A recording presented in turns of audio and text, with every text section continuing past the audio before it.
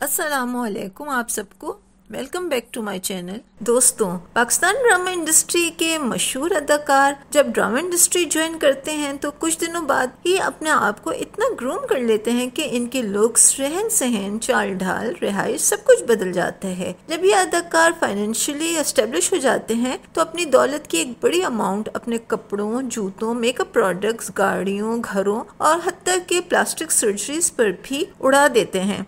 दोस्तों, इसी तरह बहुत से अदाकार ऐसे भी हैं हैं जिन्हें परफ्यूम्स का बहुत ज़्यादा शौक है। और ये अदाकार सिर्फ़ और सिर्फ़ ब्रांडेड और महँगे तरीन परफ्यूम्स ही यूज़ करते हैं। और ये लोग अपनी इनकम की एक बड़ी अमाउंट इन्हीं परफ्यूम्स की खरीदारी में लगा देते हैं। और इन अदाकारों के पास नित नए और महँगे तरीन परफ्यूम्स का ह्यूज कलेक्शन भी है। दोस्तों, ये बात भी सुनने में आई है कि कुछ सेलिब्रिटीज तो ऐसे हैं जो कि एक ही वक्त में तीन से चार परफ्यूम्स लगाते हैं ताकि उनमें से हर वक्त सिर्फ़ खुशबुएँ आती रहें।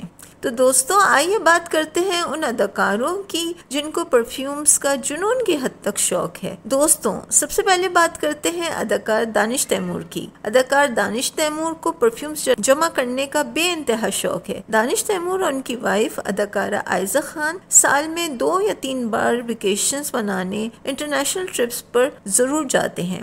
दानिश तैमूर का कहना है कि मुझे ट्रैवलिंग का बहुत ज़्यादा शौक है और इसके अलावा कहीं बाहर जाकर मेरी पहली तरजीह होती है कि मैं नित नए ब्रांड्स के परफ्यूम्स भी खरीदूं। दानिश तैमूर को स्ट्रॉन्ग स्मेल वाले परफ्यूम्स बहुत ज़्यादा पसंद है। दोस्तों, अब बात करते हैं अदाकार वहाज अली की। वहाज अली को भी परफ्यूम्स का बे शौक है। अभी यूएसए टूर पे भी वहाज अली और अदाकारा यमुना जैदी ने फारिग वक्त में अपना टाइम शॉपिंग करने में गुजारा। वहाज अली ने वहाँ कई परफ्यूम्स भी खरीदे। वहाजली ने बताया कि इन्हें वुडी सेंट्स वाले परफ्यूम ज़्यादा पसंद हैं। दोस्तों, वहाजली के पास पाकिस्तान के लोकल ब्रांड जे डॉट के परफ्यूम्स का भी ह्यूज कलेक्शन है। दोस्तों, अब बात करते हैं अदाकारा यमुना जैदी की। अदाकारा यमुना जैदी भी अपनी इनकम का मेजर पोर्शन शॉपिंग के लिए वक्फ कर देती हैं और उनकी शॉपिंग लिस्ट में ज़्यादातर परफ्यूम्स होते हैं। यमुना जैदी ने अपने इंटरव्यूज़ में कई बार ये बात बताई है कि उन्हें ओरिएंटल सेंट्स वाले परफ्यूम्स बहुत ज़्यादा पसंद है। अगले अदाकार का नाम इस लिस्ट में आएगा, वो है अदाकार बिलाल अब्बास। दोस्तों, अदाकार बिलाल अब्बास के पास ब्रांडेड परफ्यूम्स का एक खजाना है।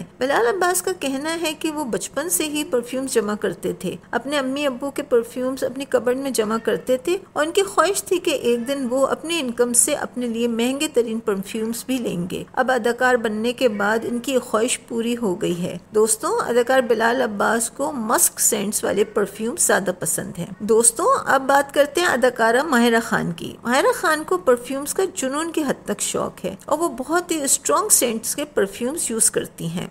माहिरा खान ने कई बार ये इंटरव्यूज़ में ये बात बताई है कि उन्हें अपनी नानी के कपड़े ज्वेलरी हती के परफ्यूम्स भी बेहद पसंद हैं और उन्होंने अपनी नानी के परफ्यूम्स भी आज तक हिफाजत से रखे हुए हैं जिनकी स्मेल उन्हें बेहद पसंद है। दोस्तों अब बात करते हैं अदाकारा सजल अली की। सजल अली भी महँगे तरीन परफ्यूम्स यूज़ करती हैं और उन्हें फ्रूटी सेंट्स वाले परफ्यूम ज़्यादा पसंद है। दोस्तों अद, अगले अदाकार है मुनीब भट्ट। अदाकार मुनीब भट्ट जो की अपनी फैमिली समेत साल में कई बार वेकेशन पर जाते हैं, उनकी वाइफ अदाकारा एमन खान कपड़े ज्वेलरी मेकअप खरीदती हैं, जबकि मुनीब भट्ट सिर्फ़ और सिर्फ़ अपनी पसंद के परफ्यूम ढूँढने में मसरूफ रहते हैं। मुनीब भट्ट साल में कई बार दुबई जाते हैं और वहाँ से वो बहुत सारे परफ्यूम्स खरीदते हैं। उन्हें अरबिक सेंट्स जैसे ऊद फ्रेग्रेंस बहुत पसंद है। दोस्तों अब नेक्स्ट अदाकारा है हिरा मानी उनके पास भी परफ्यूम्स का एक बड़ा कलेक्शन है। वो पाकिस्तानी ब्रांड्स के परफ्यूम्स के साथ साथ इंटरनेशनल ब्रांड्स के परफ्यूम्स भी यूज़ करती हैं। और इनकी फेवरेट सेंट एम्बर और मस्क है। तो दोस्तों,